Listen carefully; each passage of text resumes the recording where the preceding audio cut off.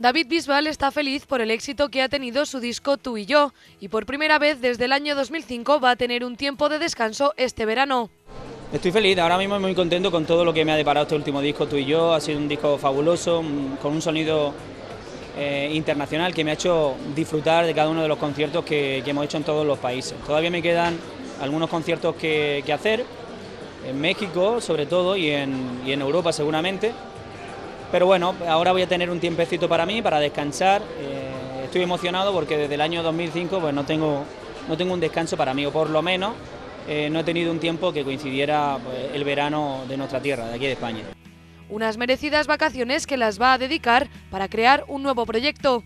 Sí, sí, para crear un nuevo proyecto musical, entonces pues ya sabéis que, se, se le tienen que dar vida a nuevas canciones.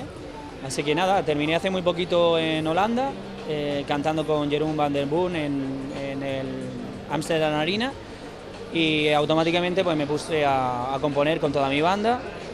Estoy tratando de forzarme lo máximo posible en este último mes de junio pues para tener el verano un poquito más tranquilo. Pero bueno, ya en septiembre tengo que empezar de nuevo con los conciertos, me quedaría muy poco, eso sí ya tendría un trabajo bastante avanzado de este nuevo disco que, seguramente en el 2016 pues ya, ya verá la luz. Bisbal se ha mostrado confiado en el nuevo proyecto de su novia, la China Suárez, que se va a iniciar en el mundo de la música. Ella es una grandísima profesional y seguramente triunfará en, en todos los campos.